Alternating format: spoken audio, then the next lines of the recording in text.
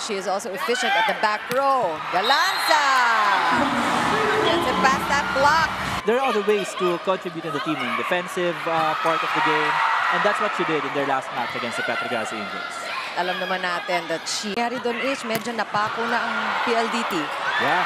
Of course, uh, Back and just, this is one of the things that you said is part of the strategy as well. Jema Galanza. After Carlos in that. Alyssa Valdez. And Galanza does better. Right, that's the right call. 15 points in three. The action with all of you, Creamline took the first set. Department. Pero talaga, Celine Domingo gets ready to serve here. Rhea pushing it out. Ah, great pancake by Carlos. Wow, Galanza works off the block. What a save from Tots Carlos. And of course, sinuplian yun ng off-the-block power hit ni Gemma Galanza. Nag-hesitate sila eh to Yeah. hit that ball. Oh! Oh, look at that.